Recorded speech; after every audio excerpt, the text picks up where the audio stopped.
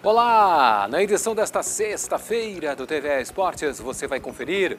Tenistas gaúchos Rafael Matos e Orlando Luz disputam hoje as semifinais do torneio de duplas do ATP de Santiago, no Chile. Campeonato Brasileiro de Patinação Artística vai até amanhã em Venâncio Aires. E vamos saber os detalhes do torneio de beach tênis da Festa da Uva, que começa hoje em Caxias do Sul.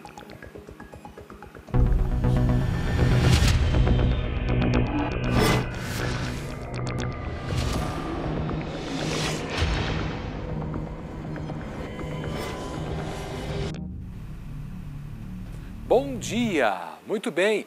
Os gaúchos Rafael Matos e Orlando Luz continuam fazendo bonito na chave de duplas do ATP 250 de Santiago, torneio em piso de saibro que está sendo disputado na capital do Chile.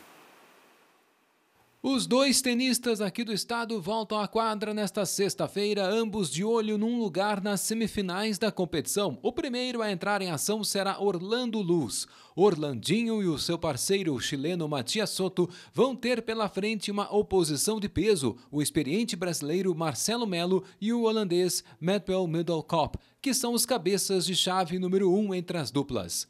Ontem, nas quartas de final, o tenista nascido em Carazinho levou a melhor sobre o norte-americano Ivan King e Reese Stauder por 2 sets a 0, parciais de 7-5 e 6-4, após uma hora e meia de jogo.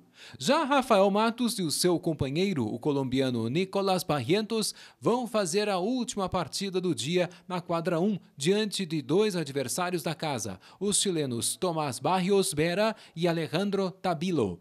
Nas quartas, ontem, o gaúcho e o seu parceiro passaram pelo equatoriano Diego Hidalgo e o colombiano Christian Rodrigues, num embate extremamente equilibrado. Foram duas horas e 11 minutos de disputa. No final, triunfo de Matos e Barrientos por 2 sets a 1, parciais de 7-6, 4-6 e 11-9, no chamado Super Tiebreak.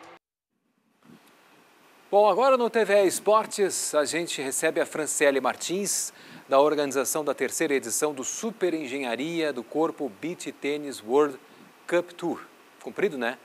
Começa hoje em Caxias do Sul. A gente vai falar agora com a Franciele. Bom dia, Franciele. Muito obrigado por nos atender. Bom dia. Tudo certo, maravilha. Bom, essa competição se inicia hoje, vai até domingo. São quantos inscritos? Então, Marcelo, hoje a gente está com mais de 800 inscritos, 850 inscritos. Era, é para praticantes amadores de beach tênis, né? Também, nós estamos é, com as categorias de amadoras e profissionais. Profissionais. Temos para todos os públicos. Bacana. Bom, dos profissionais, quem é que vai estar presente, que dá para destacar, né, desse, da, da categoria Pro, dá para se dizer, né? Quem que vai estar e quantos inscritos na categoria Pro?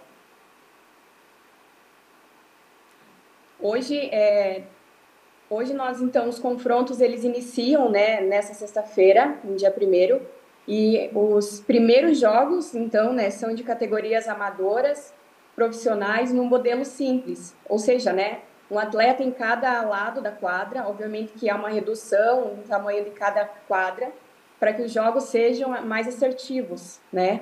Então, hoje nós temos um, iniciando um grande evento, Legal, maravilha. Bom, vai até domingo, então, justamente aí com essa, esse evento acontecendo em Caxias do Sul, uh, juntamente com a festa da uva, né? Casa tudo, o pessoal está ali na festa da uva, já dá uma olhadinha, já e já percebe-se, uh, em virtude até uh, de estar participando de um evento como é tradicional, que é a festa da uva, o beach tennis está chegando na festa da uva, mas se mostra, se mostra por meio disso que a categoria cresce cada vez mais, né? O interesse do público em geral e da quantidade de inscritos, né? Dessa, desse evento também, né? Exato, de fato, hoje o beach tênis é o esporte que mais cresce no Brasil, né? Só no Brasil, de acordo com a, a Confederação Brasileira de Tênis, são mais de 1 milhão e 100 mil praticantes da modalidade, claramente através de todos os torneios né, e campeonatos que são feitos pela Federação Esportiva. A procura né, hoje está cada vez maior. Legal. Bom, esse evento uh, vale pontos para a Federação Gaúcha de Beach Tênis? Vale, vale sim. Então, é um dos... É, um dos pontos importantes aqui que os atletas estão buscando também participar deste torneio, né? Então, sendo 500 pontos para o gaúcho e 300 pontos para o nacional e internacional. Legal. Bom, sobre as categorias, uh, a partir de que idade vai acontecer esses jogos? Qual é a idade mínima que terão participantes, a idade máxima? Como é que está formatado o modelo também de disputa, né, de jogos? Como é que foi organizado isso para a gente? Conta para a gente, Franciane. Certo, ela inicia então desde as subs que partem de 12 anos até as categorias 60 a mais. Então temos para todos os atletas. Bacana, maravilha. Bom, esse sistema, como é que foi o, o, o sistema, claro, o de inscrição? Quantos inscritos realmente para amadores nós tivemos nessa, nessa competição? Tem ideias? Não tenho essa informação, mas posso buscar e depois repasso para vocês. Bacana. Então, tem categoria sub-12, sub-60, né? essa Copa Beach de Festa da Uva, e, e, que promove em premiação. Também vai haver premiação para os competidores, tanto na categoria Pro quanto nos amadores? Hoje, de forma geral, nós temos 200 mil de premiação. Então, vai ser uma grande premiação para esse torneio. Maravilha. O público em geral vai poder acompanhar as partidas? Vai, vai sim. Inclusive, preparamos um espaço super acolhedor para os espectadores também se sentirem acolhidos, que seja um ambiente animado, também de muito desafio, né? Mas que seja um ambiente acolhedor para os nossos espectadores também que estão lá prestigiando esse evento. Legal. Bom, fora o beach tênis, também haverão outras atividades, outras modalidades esportivas que estarão sendo demonstradas aí durante este evento? Deste evento, nós disponibilizamos as quadras apenas para o beach tênis. Uhum. Então, exclusivo para esses atletas, também os amadores, né? Legal. Maravilha.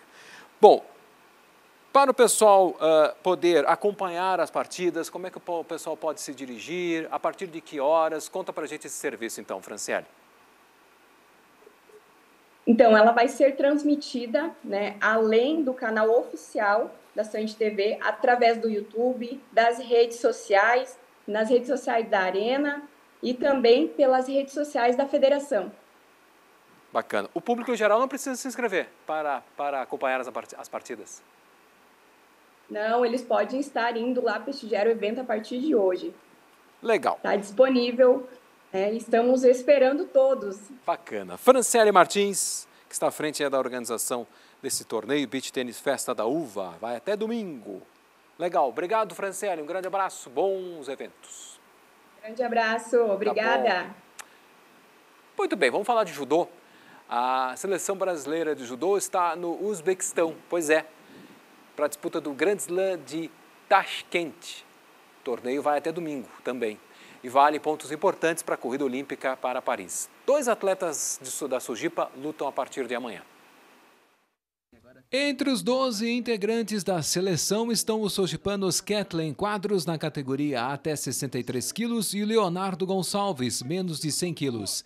Kathleen vai lutar no sábado a partir da 1 hora da manhã pelo horário brasileiro. Já a estreia de Leonardo está marcada para o domingo, com as preliminares iniciando a 1h30 da madrugada. A competição vai contar com mais de 500 atletas de 70 países. Todos buscam pontos para garantir presença nos Jogos Olímpicos de Paris em agosto. Agora a gente vai falar de uma notícia muito bacana. Tem quatro pilotos, isso aí, quatro pilotos gaúchos no grid. E os motores da Stock Car voltam a roncar nesse sábado com a primeira corrida da temporada 2024 e será no Autódromo Internacional de Goiânia. Arthur Leist e Gabriel Hobby vão ser as novidades gaúchas para a nova temporada da principal categoria do automobilismo brasileiro. Leist disputou uma corrida da Stock Pro Series no ano passado, mas agora vai participar de todo o campeonato.